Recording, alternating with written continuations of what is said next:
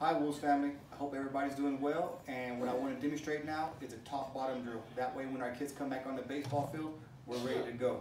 So the top bottom drill is designed to keep our eyes on the ball as we make contact.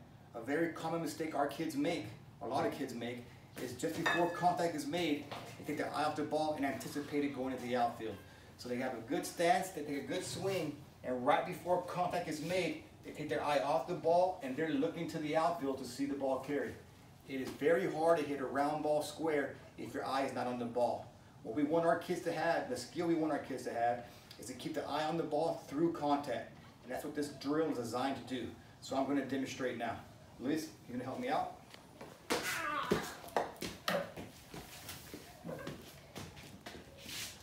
I'm going to grab two balls at the same time. I'm to toss two balls over the plate at the same time. Before I toss them in the air, I'm either going to say top or bottom.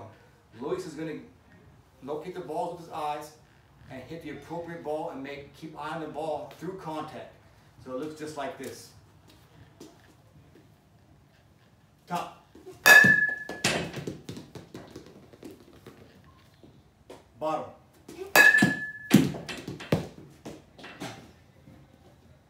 Top. If you hit both balls, it's fine as long as you make solid contact with the appropriate ball. This drill is designed so they have to focus on the ball. They have to see the bat hit the ball. And the more our kids see the bat hit the ball, the more contact we're going to make, the more solid contact we're going to make, the more long drive we're going to put in the field of play, and the more hits we'll get. All right, hope everybody's doing well, and I can't wait to see you on the baseball field.